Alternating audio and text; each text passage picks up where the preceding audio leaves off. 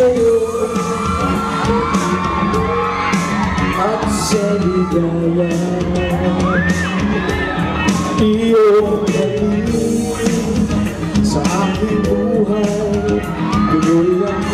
pinasasipan ikaw Sa umaga at sa gabi sa bawat minutong lumilipas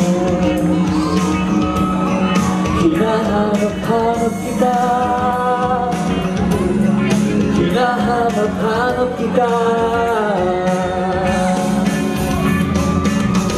Sa isip at panaginip Bawat tadhamo na kita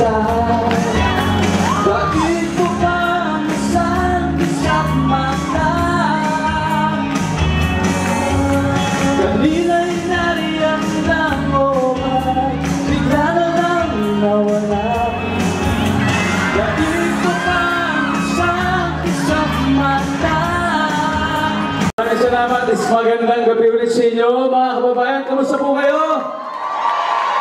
Wow, unang-una, maraming salamat sa pag-stay. Dahil alam ko sa kabila ng pag-ulan, eh nandito pa rin tayo ngayon, nagsasaya. Kaya palapakan natin lahat po na nandito.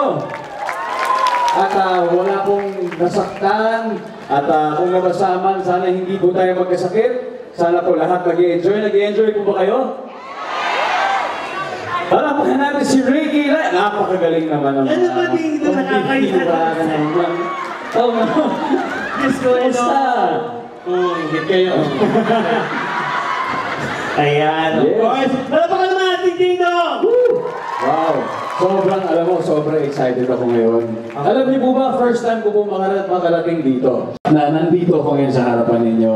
At ah, representing GMA Pinoy TV and GMA Live TV. Kaya salamat po sa GMA Pinoy and GMA Live for bringing me here. Correct. Thank you to all uh, to all of you. Of course. to all of you.